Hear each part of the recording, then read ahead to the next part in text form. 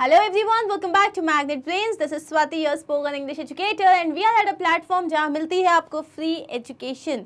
One or two videos के बाद it's not like you have to pay for anything.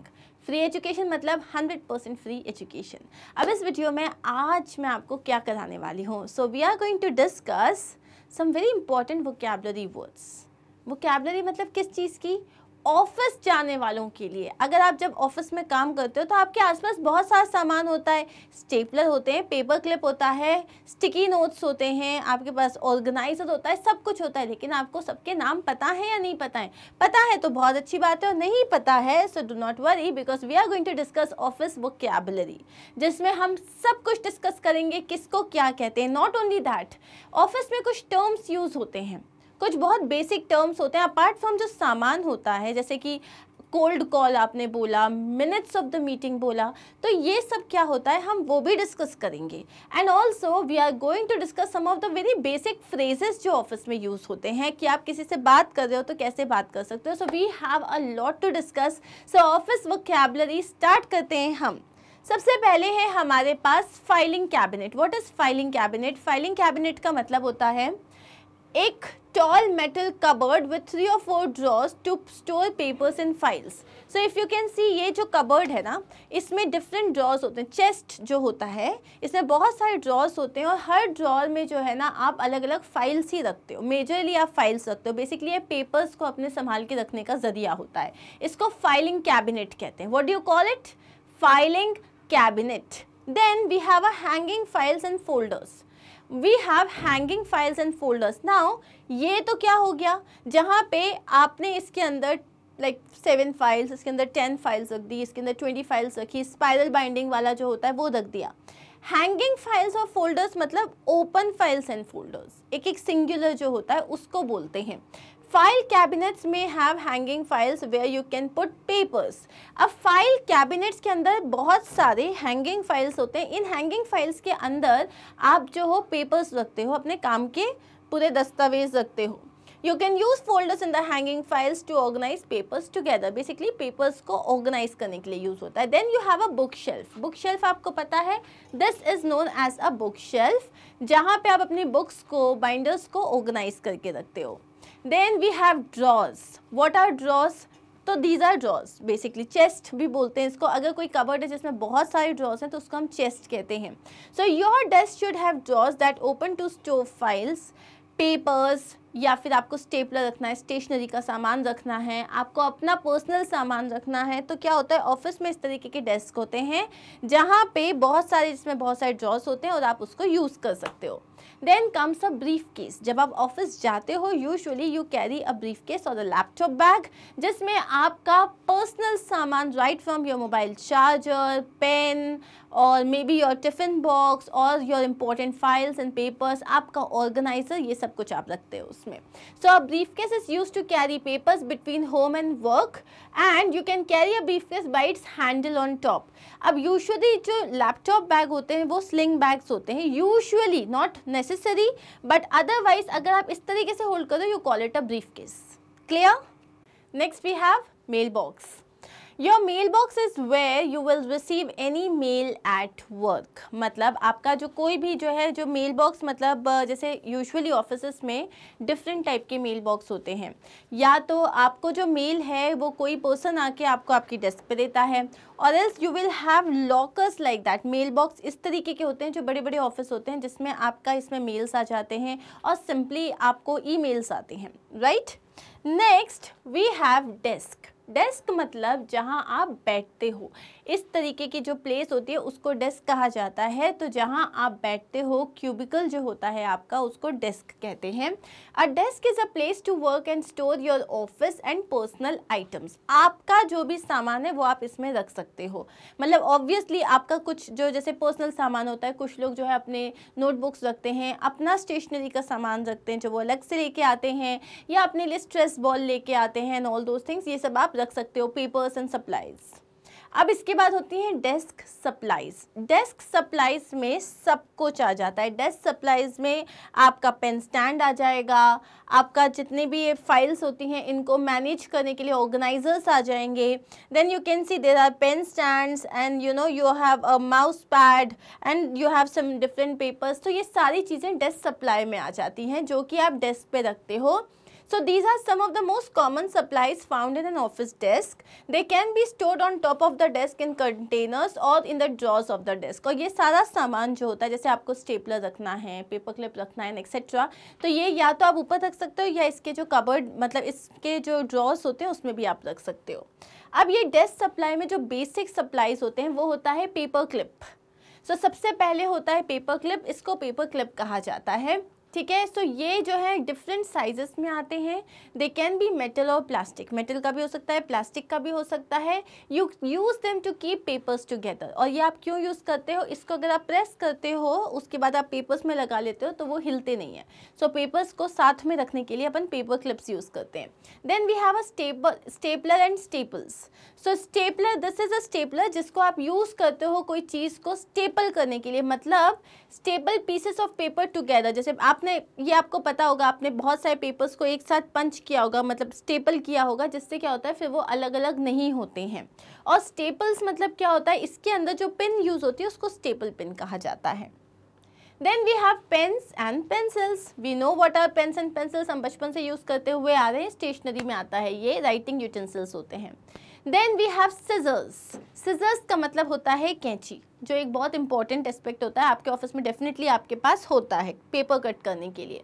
Then you have a hole punch इसको अपन बोलते हैं hole punch तो जैसे अगर आपको फ़ाइल करना है कुछ पेपर्स को तो फ़ाइल करने के लिए आपको पहले होल करना पड़ता है सो so दैट आप थ्रेड से बाँध के उसको फ़ाइल में रखोगे या फिर आप जो फ़ाइल में पिंस होती है उसके थ्रू आप करोगे. सो होल पंच जो है पेपर में स्मॉल होल्स बना देता है so you can keep papers in a binder next we have a white out white out जो होता है यूजुअली इट्स अ पेन और it's this something like this basically इसमें क्या होता है? इसमें से एक वाइट लिक्विड निकलता है. So if you have written something wrong and you want to erase it तो आप उसके लिए वाइट आउट यूज़ करते हो. ठीक है? So to cover up a mistake in writing और typing it can be in liquid form और a white tape it can be anything then you have got your business cards business cards में आपका profession जो है बहुत beautifully mention होता है this is a business card so what are you exactly what are you your name your number the name of your company the logo of your company and your email id all these information and your phone number all these information uh, is there on your business card okay then you have a computer or laptop you know what is a computer and a laptop then we have a printer printer is a device जिसमें आप printing के लिए use करते हो जिसमें आपको कोई भी चीज़ चाहिए this is a printer so इसमें you have different types of printer black and white coloured so इसमें आप अपने जो डॉक्यूमेंट्स को प्रिंट कर सकते हो अपनी डिवाइस से अटैच करके। Then we have ink cartridges ink cartridges मतलब इस प्रिंटर में ये जो होती है इंक कार्ट्रिजेस लगती है फोर इंक कार्ट्रिजेस लगती है। अगर हम कलर प्रिंट आउट की बात करते हैं कलर प्रिंटर की बात करते हैं ठीक है? सो so, इससे क्या होते हैं जो इमेजेस इंक नहीं होगी तो आप क्या करोगे? तो इसमें इंक, ये इंक है बेसिकली देन फोटोकॉपियर फोटोकॉपियर मतलब क्या होता है? जो कि फ़ोटो कॉपी करता है प्रिंट आउट नहीं देता है। आपने एक का, आपने बता दिया आपको टेन कॉपीज चाहिए फिफ्टी कॉपीज चाहिए तो this is a photo photocopier machine ठीक है? Then we have a fax machine so this is a fax machine what is a fax machine? A fax machine sends documents electronically to other offices मैंने Mumbai office में एक fax किया और Delhi office में भेजा है तो क्या होगा जैसे ही मैंने वो डॉक्यूमेंट डाला वो डॉक्यूमेंट प्रिंट होके वहाँ पे दिल्ली ऑफ़िस में बाहर चला जाएगा। सो so, ये होती हैं फैक्स मशीन जिसमें फोटोकॉपियर और प्रिंटर दोनों कंबाइन होता है। Then we have a projector what is a projector जब आप कोई प्रेजेंटेशन दे रहे हो ठीक है? Whenever you you want to give a presentation to a lot of like people in your office या कहीं पे भी अगर आपको देना है तो इस तरीके का एक प्रोजेक्टर लगाते हो and then you show your presentation on the projector जिससे क्या होता है, सब लोग उसको बहुत ईजिली वो विजिबल होता है सब लोगों के लिए। Then we have a white board now, this is a whiteboard. This is a very common thing. I'm sure you know about it. तो suppose suppose there is a team meeting or anything तो आप जब है, इस पे explain करने लग जाते हो, ठीक है? So, that is whiteboard. Then we have a bulletin board bulletin board में कोई भी आपको इंपॉर्टेंट पीस ऑफ़ इंफॉर्मेशन है उसका पेपर है उसको आप पेपर क्लिप्स के थ्रू जो है या फिर पेपर पिंस जो होते हैं बुलेटिन बोर्ड पिंस जो होते हैं उनके थ्रू लगा देते हो तो ये आपका बुलेटिन बोर्ड होता है। सो so, कोई इंपॉर्टेंट नोटिस होता है कोई आप इंपॉर्टेंट जैसे पिक्चर आपको लगाना ये सब आप बुलेटिन बोर्ड पिंस के थ्रू लगा सकते हो। Then we have a office chair. An office chair is a chair you use at your desk. It is usually padded and many have wheels to easily roll around.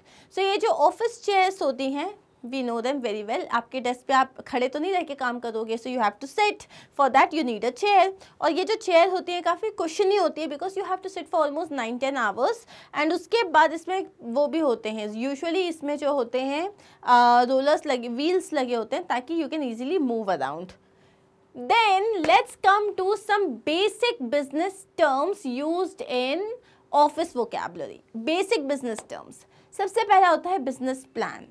तो whenever you have a business if you have a business you need to have a plan what you want to be आपका five years गोल क्या है one year goal क्या है ten days गोल क्या है ये आपको पता होना चाहिए so a document used to outline plan for a business setting out growth goals for the next three to five years and identifying information needed to achieve those goals such as target market, unique selling points marketing goals and so on so business plan एक पूरा document होता है, जिसमें आपके business से related सारी information होती है, जिसमें आप क्या अचीव करना चाहते हो वो लिखा है, आपका टारगेट ऑडियंस क्या है मतलब आप ये बिज़नेस किन लोगों के लिए आपने खोला है, कौन है आपका कस्टमर वो सारी इन्फॉर्मेशन इसमें होती है। Then you have a balance sheet आपने ये नाम बहुत सुना होगा। बैलेंस शीट मतलब किसी भी कंपनी में कितना पैसा आ रहा है, कितना पैसा जा रहा है, ये पैसा आपस में टैली कर रहा है या नहीं कर रहा है, इसको बैलेंस शीट कहते हैं। ये सारे फिगर्स एक जगह लिखा हो, लिखे होते हैं। So it details the company's accounts at a certain point in time किसी भी पर्टिकुलर पॉइंट में कंपनी के पास कितना पैसा है, उसने कितना पैसा मार्केट से उठाया, उसने कितना पैसा इन्वेस्ट किया है, कितना पैसा उसके शेयर होल्डर्स को जाता है और कितना पैसा उसके पास एज अ कंटिजेंसी फंड में है, ये सारी सारे डिस्कशंस होते हैं, सब कुछ लिखा रहता है बैलेंस शीट में। Then we have a startup startup is again a very like interesting word that has been like going on for a few years now startup मतलब अगर मैंने अपनी कंपनी स्टार्ट करी it can be anything it can be right from making shoes to making an eyeliner और a काजल और any thing so startup का मतलब होता है it is use to describe a brand new business typically in its first few months और years of trading first few months में उसको आप स्टार्टअप कहते हो। अब एक, दो साल हो गए, पाँच साल हो गए, उसके बाद उसे आप स्टार्टअप नहीं कहोगे। उसके बाद वो एक प्रॉपरली रनिंग कंपनी हो जाएगी।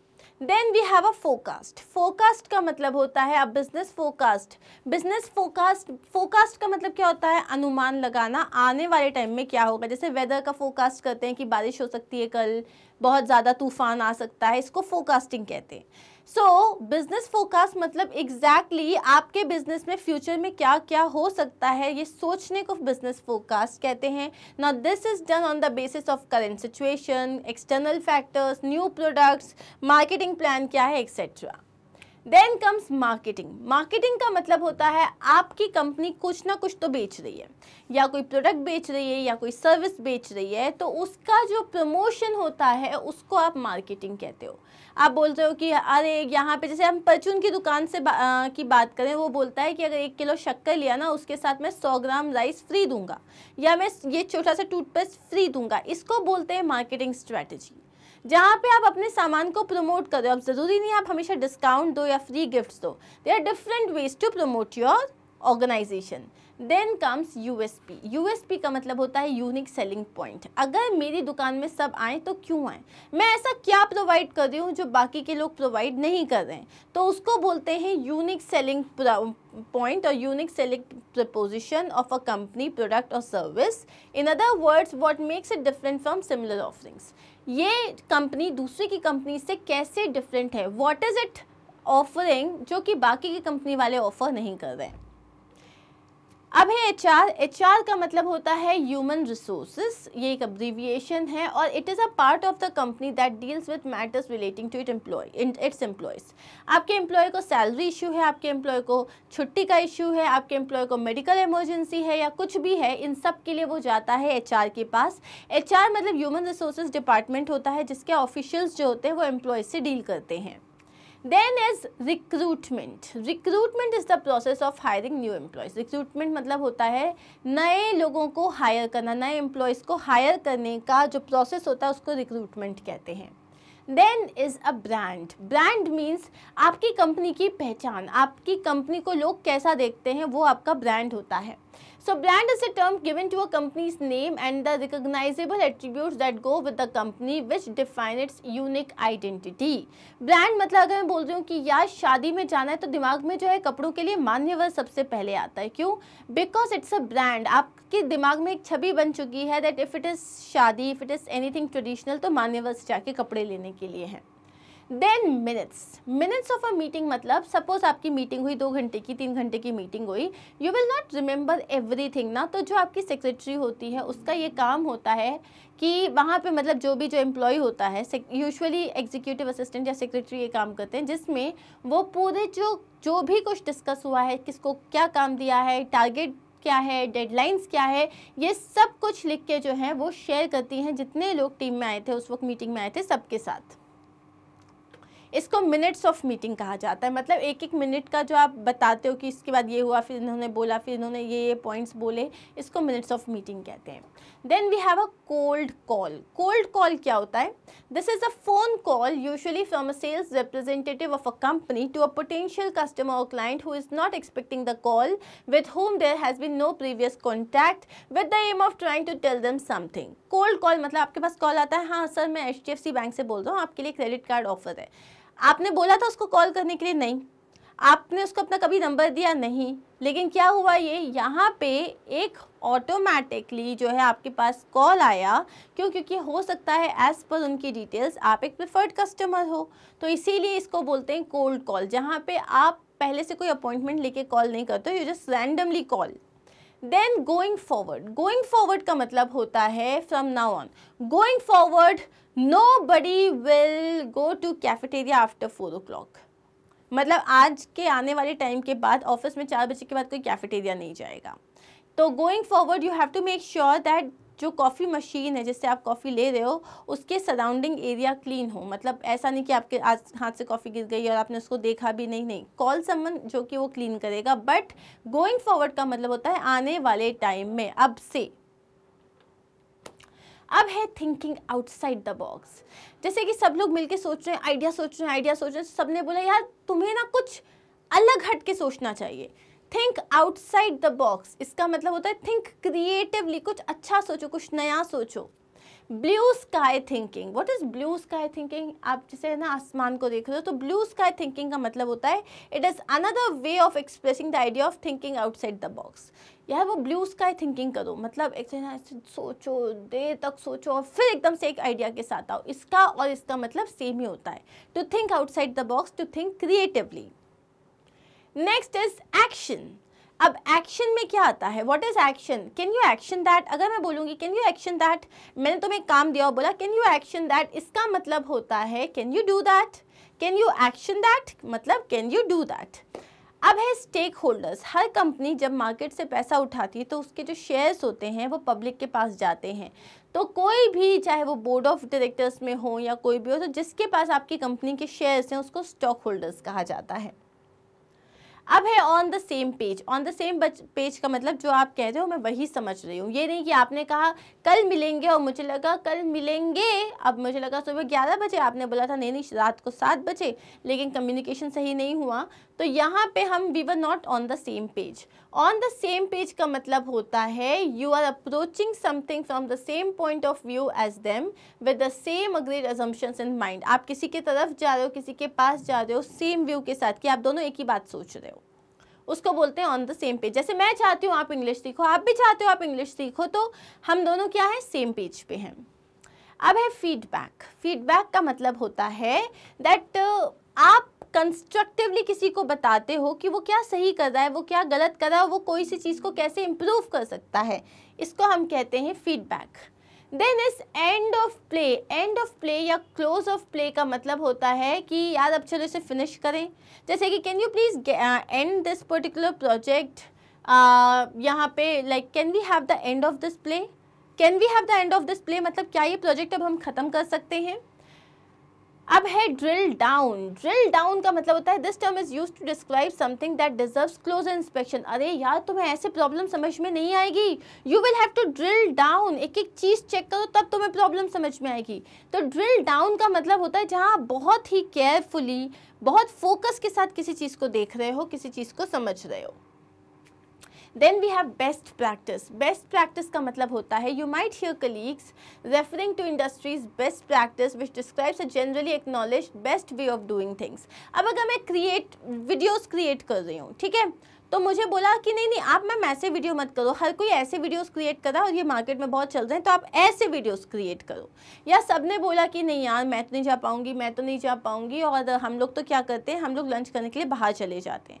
कुछ भी तो बेस्ट प्रैक्टिस का मतलब ये होता है कि एक generally acknowledge best way of doing things मुझे लगता है कि उस आ, उससे माफ़ी मांगने का सबसे अच्छा तरीका ये है so which is the best way of doing any thing the best practice core competency का मतलब क्या होता है? This bewildering phrase refers to the strengths of a person और कंपनी मतलब कोर कॉम्पिटेंसी क्या है? यूएसपी क्या है? जैसे यूएसपी था, वैसे ही कोर कॉम्पिटेंसी मतलब तुम्हारे आगे कोई दूसरा तुम्हारा कॉम्पिटिटर क्यों नहीं जा सकता? ये जो है, ये बताता है आपको कोर कॉम्पिटेंसी बताता है कि मेरी सबसे ज़्यादा मेरे अंदर क्या ऐसी चीज़ है जिसके कारण मैं किसी से कम्पीट कर सकती हूँ?